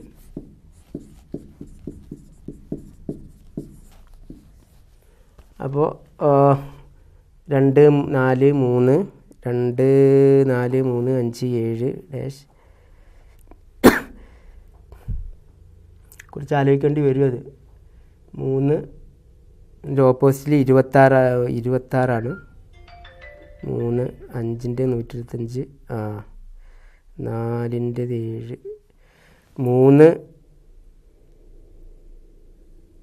ക്യൂബ് മൂന്ന് ക്യൂബ് മൈനസ് ഒന്നാണിത്. മൂന്ന് ക്യൂബ് ഇരുപത്തേഴാണ് അതിന് ഒന്ന് കുറച്ചാൽ ഇരുപത്തി ആറ് അഞ്ച് ക്യൂബ് നൂറ്റി ഇരുപത്തഞ്ചാണ് അതിന് ഒന്ന് കുറച്ചാൽ നൂറ്റി ഇരുപത്തിനാല് ക്യൂബ് എന്ന് പറഞ്ഞാൽ അറിയല്ലോ അഞ്ച് ക്യൂബ് എന്ന് പറഞ്ഞാൽ അഞ്ച് ഇന്റു അഞ്ച് ഇന്റു അഞ്ചാണ്. അതാണ് നൂറ്റി ഇരുപത്തഞ്ച് മൂന്ന് ക്യൂബ് എന്ന് പറഞ്ഞാൽ അതുപോലെ ഇരുപത്തേഴ് എന്ന് വരും. എട്ട് ക്യൂബ് എന്ന് പറഞ്ഞാൽ അഞ്ഞൂറ്റി അറുപത്തിനാല് എട്ട് നാലെട്ട് മുപ്പത്തിരണ്ട് അഞ്ഞൂറ്റി രണ്ട് വരും. അഞ്ഞൂറ്റി രണ്ട് നാ- അഞ്ഞൂറ്റി പന്ത്രണ്ട് വരും അങ്ങനെ അപ്പോൾ ഇവിടെ അതാണ് മൂന്നിന്റെ ക്യൂബ് ഇരുപത്തേഴാണ് അതിനൊന്ന് കുറച്ചാണ് ഇരുപത്താറ്. രണ്ടിന്റെ ക്യൂബ് എട്ടാണ് അതിനൊന്ന് കുറച്ചാണ് ഏഴ്. മൂന്നിന്റെ ക്യൂബ് എത്രയാണ്? ഇരുപത്തേഴ് ഒന്ന് കുറച്ച്. അഞ്ചിന്റെ ക്യൂബ് നൂറ്റി ഇരുപത്തഞ്ചാണ് അതിനൊന്ന് കുറച്ച് ഏഴ്. അപ്പോൾ ഇവിടെ വരേണ്ടത് നാല് ക്യൂബിൽ നിന്ന് ഒന്ന് കുറച്ചത്. നാല് ക്യൂബ് അറുപത്തിനാലാണ് അപ്പോൾ അറുപത്തി മൂന്ന് വരണം. അപ്പോൾ ഇതാണ് ആൻസർ. അപ്പോൾ സംഖ്യകൾ സ്ക്വയർ ക്യൂബ് എന്നുള്ള ബന്ധമുള്ള സംഖ്യകളുണ്ടാവും. അതൊക്കെയാണ്. പിന്നെ അങ്ങനെ ധാരാളം ചോദ്യമുണ്ട് ഇതിൽ ബന്ധ സംഖ്യകളും ആയിട്ട് ബന്ധപ്പെട്ട കുറേ ചോദ്യങ്ങളുണ്ട്. അപ്പോൾ അതൊക്കെ ആ ബന്ധങ്ങൾ നിങ്ങൾ മനസ്സിലാക്കുക എന്നുള്ളതാണ്. പിന്നെ മറ്റൊരു കലണ്ടറുമായിട്ട് ബന്ധപ്പെട്ട ചോദ്യം പലപ്പോഴും ചോദിക്കാറുണ്ട്. രണ്ടായിരത്തി പതിനേഴ് മെയ് ഇരുപത് മുതൽ രണ്ടായിരത്തി പതിനേഴ് സെപ്റ്റംബർ പത്ത് വരെ എത്ര ദിവസങ്ങളുണ്ട്? രണ്ടായിരത്തി പതിനേഴ് മെയ് ഇരുപത്. മെയ് ഇരുപത് മുതൽ രണ്ടായിരത്തി പതിനേഴ് സെപ്റ്റംബർ പത്ത്. സെപ്റ്റംബർ പത്ത് വരെ എത്ര ദിവസമുണ്ട്? അപ്പോൾ അത് ശ്രദ്ധിക്കാനുള്ള ഇരുപതും കൂട്ടണം പത്ത് രണ്ടും കൂട്ടണം. അത് ഉൾ ഉൾ ഉൾക്കൊള്ളയാണ് ചെയ്യേണ്ടത്. അപ്പോൾ ഓരോന്നും കൂട്ടി തന്നെ അല്ല വേറെ മാർഗമില്ല. ഓരോ മാസത്തിലും എത്ര ദിവസം ഉണ്ട് എന്ന് അറിയണം. മെയ് ഇരുപത് മുതൽ മെയ്യിൽ മുപ്പത്തൊന്ന് ദിവസം ഉണ്ട് അപ്പോൾ ഇരുപത് മുതൽ മുപ്പത്തൊന്ന് വരെ എന്ന് പറയുമ്പം പതിനൊന്ന് എന്ന് എടുക്കരുത് പന്ത്രണ്ട് എന്ന് എടുക്കണം. അതാണ് തെറ്റിപ്പോവുക. മെയ് ഇരുപത് മുതൽ മെയ് മുപ്പത്തൊന്ന് വരെ പന്ത്രണ്ട് ദിവസം ഉണ്ട് എന്ന് മനസ്സിലാക്കണം. അതാണ് പല കുട്ടികൾക്കും തെറ്റുക ഇരുപത് മുതൽ മുപ്പത്തൊന്നല്ല അപ്പോൾ പതിനൊന്ന് അല്ല. അഞ്ച് മുതൽ പത്ത് വരെ ആറ് അക്കങ്ങളുണ്ടല്ലോ. അപ്പോൾ മെയിൽ മുപ്പത് പിന്നെ മുപ്പത് പന്ത്രണ്ട് ഇരുപത് മുതലാകുമ്പോൾ പതിമൂന്ന് ദിവസം ഉണ്ടാവും. പിന്നെ ജൂണിൽ ജൂണിൽ മുപ്പത് ദിവസമുള്ളത് അത് നമുക്കറിയാം. ജൂലൈയിൽ മുപ്പത്തൊന്നുണ്ട്. ഓഗസ്റ്റിൽ മുപ്പത്തൊന്നുണ്ട്. സെപ്റ്റംബറിൽ എത്ര ദിവസം? സെപ്റ്റംബർ പത്ത് വരെ കൂട്ടിയിട്ടുള്ളൂ. സെപ്റ്റംബർ പത്ത് വരെ അപ്പോൾ പത്തും കൂടി ഇൻക്ലൂഡ് ചെയ്യണം.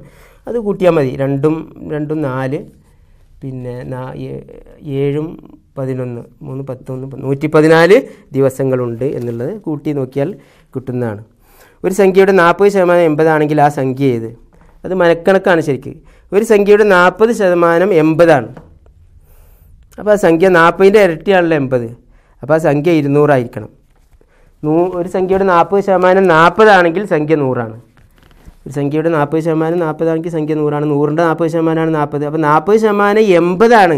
അപ്പോൾ നാൽപ്പതിന്റെ ഇരട്ടിയാണല്ലോ എൺപത്. അപ്പോൾ ഏത് സംഖ്യയുടെ നാൽപ്പത് ശതമാനം എൺപതാകുക? നൂറിന്റെ ഇരട്ടിയാണ് ഇരുന്നൂറായിരിക്കണം എന്നുള്ളതാണ്. അല്ലെങ്കിൽ അത് എക്സ് ഗുണിക്കണം നാൽപ്പത് ബൈ നൂറ്. സംഖ്യ എക്സ് എടുക്കുക. നാൽപ്പത് ബൈ നൂറ് സമം എൺപത് എന്ന് എഴുതുക. അതുകൊണ്ട് എക്സ് സമം കണക്ക് വെച്ച് ചെയ്യുകയാണെങ്കിൽ എക്സ് സമം എൺപത് ഗുണിക്കണം നൂറ് ബൈ നാൽപ്പത് അപ്പോൾ ഇവിടെ രണ്ട് എന്ന് വരും ഇരുന്നൂറ് എന്ന് വരും. അതല്ലാത്ത ഇത് മെന്റൽ എബിലിറ്റി ഉള്ള ചോദ്യം അതുകൊണ്ടാണ് ഇതിൽ ചോദിച്ചത്. സംഖ്യയുടെ നാൽപ്പത് ശതമാനം എൺപതാണെങ്കിൽ സംഖ്യ ഇരുന്നൂറാണ്. നേരെ മറിച്ച് സംഖ്യയുടെ നാൽപ്പത് ശതമാനം ഇരുപതാണെങ്കിൽ സംഖ്യയുടെ നാൽപ്പത് ശതമാനം ഇരുപതാണെങ്കിൽ ആ സംഖ്യ അൻപതായിരിക്കും. നാൽപ്പതിന്റെ പകുതിയാണല്ലോ ഇരുപത്. അപ്പം നൂറിന്റെ പകുതി അൻപതായിരിക്കും. ഒരു സംഖ്യയുടെ നാൽപ്പത് ശതമാനം ഇരുപതാണെങ്കിൽ ആ സംഖ്യ അൻപതായിരിക്കും. നേരെ മറിച്ച് നാൽപ്പത് ശതമാനം എൺപതാണെങ്കിൽ സംഖ്യ ഇരുന്നൂറായിരിക്കും. പിന്നെ ഒരു ചോദ്യം കൂടി എപ്പോഴും ചോദിക്കുന്ന ചോദ്യമാണ് എല്ലാ ക്വസ്റ്റ്യൻ പേപ്പറിലും ഒരു ഒരു ജോലി നാൽപ്പത് ആൾക്കാർക്ക് മുപ്പത് ദിവസം കൊണ്ട് ചെയ്യാൻ കഴിയും. നാൽപ്പത് ആളുണ്ടെങ്കിൽ ആ ജോലി മുപ്പത് ദിവസം കൊണ്ട് ചെയ്യാൻ കഴിയും. ഈ ഇതേ ജോലി അൻപത് പേർക്ക് എത്ര ദിവസം കൊണ്ട് ചെയ്യാൻ കഴിയും? എങ്കിൽ അൻപത് നാൽപ്പത് ആളുണ്ടെങ്കിൽ മുപ്പത് ദിവസം കൊണ്ട് ചെയ്യും. അപ്പോൾ അൻപത് ആളുണ്ടെങ്കിൽ ദിവസങ്ങളുടെ എണ്ണം കുറയാ ചെയ്യുക നാൽപ്പത് ആൾക്ക് മുപ്പത് ദിവസം കൊണ്ട് ചെയ്യാൻ കഴിയുമെങ്കിൽ അൻപത് ആൾക്ക് എത്ര ദിവസം കൊണ്ട് ചെയ്യാൻ കഴിയുമെന്ന് പറഞ്ഞാൽ ഉത്തരം കുറയാണ് ചെയ്യുക. നേരെ മറിച്ച് നാൽപ്പത് ആൾക്ക് മുപ്പത് കിലോ ഭക്ഷണം വേണമെങ്കിൽ അൻപത് ആൾക്ക് ഭക്ഷണം കൂടുക ചെയ്യുക. പക്ഷേ ജോലിയാവുമ്പോൾ നേരെ തിരിഞ്ഞാൽ വരിക. നാൽപ്പത് ആൾ മുപ്പത് ദിവസം കൊണ്ട് ചെയ്യുന്ന ജോലി അൻപത് ആൾ എത്ര ദിവസം കൊണ്ട് ചെയ്യുന്നു പറഞ്ഞാൽ നാൽപ്പതേ ഗുണിക്കണം മുപ്പത് ബൈ അൻപതാണ് അപ്പോൾ നാൽപ്പത് അൻപത് നാല് മൂന്ന് പന്ത്രണ്ട് ബൈ അഞ്ച്. നാൽപ്പത് മുപ്പത് കൊണ്ട് ചെയ്യുമ്പോൾ അൻപത് പേർക്ക് എത്ര ദിനം കൊണ്ട് ചെയ്യാൻ കഴിയും? നാൽപ്പത് ഗുണിക്കണം മുപ്പത് ബൈ അൻപതാണ്. അപ്പോൾ ആയിരത്തി ഇരുന്നൂറ് ബൈ നാല് മുപ്പത് നൂറ്റി ഇരുപത് ബൈ അഞ്ച്. നൂറ്റി ഇരുപതിൽ അഞ്ച് ഇരുപതും ഇരുപത്തിനാല് ദിവസങ്ങൾ കൊണ്ട് ചെയ്യാൻ കഴിയും. അപ്പോൾ ഉത്തരം ഇരുപത്തിനാല് ദിവസങ്ങൾ എന്നാണ്. അപ്പോൾ ചുരുക്കി പറഞ്ഞാൽ ഇതിന്റെ ഇങ്ങനെ ഒരു ഫോർമുല പഠിച്ചാൽ മതി. എ ആളുകൾ എ ആളുകൾ ബി ദിവസം കൊണ്ട് ചെയ്യുന്ന ജോലി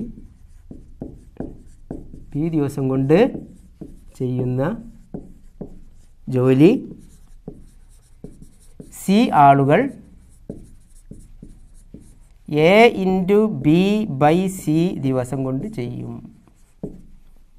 എന്നുള്ളത് മനസ്സിലാക്കിയാൽ മതി. എ ആളുകൾ ബി ദിവസം കൊണ്ട് ചെയ്യുന്ന ജോലി സി ആളുകൾ A into B by C ദിവസം കൊണ്ട് ചെയ്യും. ഇനി അത് മാറിയാലും പ്രശ്നമില്ല. എ ആളുകൾ ബി ദിവസം കൊണ്ട് ചെയ്യുന്ന ജോലി സി ദിവസം കൊണ്ട് ചെയ്യാൻ എത്ര ആൾ വേണം? അപ്പോഴും ഇതേ ഉത്തരം തന്നെയാണ്. എ ആളുകൾ ബി ദിവസം കൊണ്ട് ചെയ്യുന്ന ജോലി സി ദിവസം കൊണ്ട് ചെയ്യാൻ എത്ര ആളുകൾ വേണമെന്നുള്ളതിനും ഉത്തരം ഇത് തന്നെ A into B by C തന്നെ ആയിരിക്കും. ഇനി അത് അത്തരം ചോദ്യങ്ങൾ സാധാരണ വരാറുണ്ട്. പിന്നെ മറ്റൊന്ന് ഒരു പിന്നെ കുടുംബ ആഴ്ചയായിട്ടുള്ള വേറെ ചോദ്യമാണ്. ദിവസങ്ങളുമായിട്ടുള്ള ബന്ധം. മറ്റന്നാൾ ലക്ഷ്മിയുടെ പിറന്നാളാണ്. അടുത്ത ആഴ്ച ഇതേ ദിവസം ദീപാവലിയാണ്. ഇന്ന് ഞായറാഴ്ചയാണ്. ദീപാവലിയുടെ തൊട്ട് മുന്നത്തെ ദിവസം ഏതാണ്? ഒന്നുകൂടി വായിക്കാം. മറ്റന്നാൾ ലക്ഷ്മിയുടെ പിറന്നാളാണ്. അടുത്ത ആഴ്ച ഇതേ ദിവസം ദീപാവലിയാണ്. ഇന്ന് ഞായറാഴ്ചയാണ്. ദീപാവലിയുടെ തൊട്ട് മുന്നത്തെ ദിവസം ഏതാണ്? മറ്റന്നാൾ ലക്ഷ്മിയുടെ പിറന്നാളാണ്. അവിടെ നിൽക്കട്ടെ. അടുത്ത ആഴ്ച ഇതേ ദിവസം ദീപാവലിയാണ്. അതവിടെ നിൽക്കട്ടെ. ഇന്ന് ഞായറാഴ്ചയാണ്. ഇന്ന് ഞായറാഴ്ച ആകുമ്പം അടുത്ത ഞായറാഴ്ചയാണ് ദീപാവലി. ദീപാവലി എന്ന് മനസ്സിലാക്കുക. മറ്റന്നാൾ ലക്ഷ്മിയുടെ പിറന്നാളാണ്. അപ്പോൾ ഇന്ന് ഞായറാഴ്ച ആകുമ്പം ദീപാവലിയും അടുത്ത ആഴ്ച ഇതേ ദിവസം ഞായറാഴ്ച തന്നെയാണ്. അപ്പോൾ ദീപാവലി ഞായറാഴ്ചയാണ്. മറ്റന്നാൾ ലക്ഷ്മിയുടെ പിറന്നാളാണ്. അപ്പോൾ ഇന്ന് ഞായറാഴ്ച ആകുമ്പോൾ മറ്റന്നാൾ എന്താണ്? ചൊവ്വാഴ്ചയാണ്. അപ്പോൾ ചൊവ്വാഴ്ചയാണ് ലക്ഷ്മിയുടെ പിറന്നാൾ നൃത്തം ദീപാവലിയുടെ തൊട്ട് മുന്നത്തെ ദിവസം ഏതാണ്? ദീപാവലിയുടെ തൊട്ട് മുന്നത്തെ ദിവസം ശനിയാഴ്ച. അതിനെന്താ സംശയം? അടു- അടുത്ത ആഴ്ച ഇതേ ദിവസം ദീപാവലിയാണ് ഇന്ന് ഞായറാഴ്ചയാണ്. അടുത്ത ആഴ്ച ഇതേ ദിവസം ദീപാവലി ആകുമ്പം ദീപ ദീപാവലി ഞായറാഴ്ച തന്നെയാണ്. ദീപാവലിയുടെ തൊട്ട് മുമ്പത്തെ ദിവസം ശനിയാഴ്ച. മറ്റന്നാൾ ലക്ഷ അപ്പോൾ ഇവിടെ ചോദ്യത്തിൽ മറ്റന്നാൾ ലക്ഷ്മിയുടെ പിറന്നാളാണ്. അടുത്ത ആഴ്ച ഇതേ ദിവസം ദീപാവലിയാണ് എന്ന് പറഞ്ഞാൽ ഒരു കൺഫ്യൂഷൻ വരുന്നുണ്ട്. Day after tomorrow is the birthday of Lakshmi next week on the same day അപ്പോൾ ഇതേ ദിവസം എന്ന് പറയുന്നത് ലക്ഷ്മിയുടെ പിറന്നാളാണ് ഇവിടെ ഉദ്ദേശിക്കുന്നതെന്നാണ് മനസ്സിലാക്കുന്നത്. കാരണം ആൻസറിൽ അതില്ല. അപ്പോൾ മറ്റന്നാൾ ലക്ഷ്മിയുടെ പിറന്നാളാണ്. അടുത്ത ആഴ്ച അതേ ദിവസം ദീപാവലിയാണ്. എന്ന് പറഞ്ഞാൽ ഈ ലക്ഷ്മിയുടെ പിറന്നാളിന്റെ അതേ ദിവസമാണ് ദീ പിന്നെ ദീപാവലി എന്നർത്ഥം ഇന്ന് ഞായറാഴ്ചയാണ്. അപ്പോൾ ഇന്ന് ഞായറാഴ്ച ആകുമ്പോൾ ലക്ഷ്മിയുടെ പിറന്നാൾ ചൊവ്വാഴ്ചയാണ്. അന്നാണ് ദീപാവലി. അപ്പോൾ അതിന്റെ മുമ്പത്തെ ദിവസം ചൊവ്വാഴ്ചയാണ് ദീപാവലി ആയിട്ട് വരിക. അപ്പം അതിന്റെ മുമ്പത്തെ ദിവസം പിന്നെ തിങ്കളാണ്. അപ്പോൾ ഇതിൽ ചെറിയ കൺഫ്യൂഷൻ വരാൻ കാരണം അടുത്ത ആഴ്ച ഇതേ ദിവസം എന്ന് പറയുന്നത് ഇന്നും ആകാം അല്ലെങ്കിൽ ലക്ഷ്മിയുടെ പിറന്നാളും ആകാം. ഇന്നായിട്ട് വരുമ്പോൾ ഉത്തരം തെറ്റിപ്പോവും. ലക്ഷ്മിയുടെ പിറന്നാളാണെന്ന് പറയുമ്പോൾ അത് ശരിയാണ്. അങ്ങനെ കൂട്ടുമ്പോൾ ലക്ഷ്മിയുടെ പിറന്നാൾ ചൊവ്വാഴ്ചയാണ്. അതിന്റെ തലേ ദിവസമാണ് തിങ്കൾ എന്നുള്ള ഉത്തരം വരുന്നു. ഇത്രയുമാണ് ഇതിൽ ഈ ഏക- ഏകദേശം ഈ ക്വസ്റ്റ്യൻ പേപ്പറിലെ ആവർത്തനം വരാത്ത അതുപോലെ പിന്നെ ഞാൻ പറഞ്ഞില്ല രണ്ട് തരം ചോദ്യമുണ്ട്. വെർബൽ ആയിട്ടുള്ള ചോദ്യങ്ങൾ മാത്രമേ നമ്മൾ ചെയ്തിട്ടുള്ളൂ. ഇനി നോൺ വെർബൽ ചോദ്യങ്ങളുണ്ട്. അത് നിങ്ങളുടെ കയ്യിൽ ക്വസ്റ്റ്യൻ പേപ്പർ കിട്ടിയിട്ട് നമുക്ക് ചെയ്യാനേ കഴിയുള്ളൂ. അത് നമുക്ക് പിന്നീട് ചെയ്യാം. ക്വസ്റ്റ്യൻ പേപ്പർ കയ്യിൽ നിങ്ങൾക്ക് കിട്ടിയിട്ട് നമുക്ക് ഈ നോൺ വെർബൽ ചോദ്യങ്ങൾ നമുക്ക് പരിചയപ്പെടാം. അപ്പോൾ ഇത്രയുമാണ്. അപ്പോൾ നിങ്ങൾക്ക് ഏകദേശം ഒരു ധാരണ കിട്ടിക്കാണുമെന്ന് വിചാരിക്കുന്നു. അപ്പോൾ ഈ മെന്റൽ എബിലിറ്റിയിലെ ചോദ്യങ്ങൾ എന്ന് പറയുന്നത് പ്രാക്ടീസ് കൊണ്ട് പെട്ടെന്ന് മാർക്ക് വാങ്ങാവുന്നതാണ്. ചിലത് കൂടുതൽ ആലോചിക്കേണ്ടി വരും. അത് പിന്നീട് അവസാനത്തേക്ക് മാറ്റി വെക്കുക. ധാരാളം ഇത്തരം ചോദ്യങ്ങൾ. ഇതേ മോഡൽ ചോദ്യം തന്നെയാണ് ആവർത്തിച്ച് ആവർത്തിച്ച് വരുന്നത്. പ്രത്യേക വേറെ ഒരു ക്വസ്റ്റ്യൻ ഒരു കൊല്ലത്തെ ക്വസ്റ്റ്യൻ പേപ്പറിന്റെ പുതിയൊരു രീതിയല്ല അടുത്ത കൊല്ലം വരുന്നത്. എന്റെ കയ്യിൽ രണ്ടായിരത്തി പതിനെട്ടിലും പത്തൊമ്പതിലും ചോദ്യ പേപ്പറുണ്ട് രണ്ടും ഒരേ മോഡൽ ക്വസ്റ്റ്യൻ പേപ്പറുകളാണ് പ്രത്യേക പിന്നെ പുതിയ രീതിയിലുള്ള ചോദ്യങ്ങളൊന്നും വരുന്നില്ല.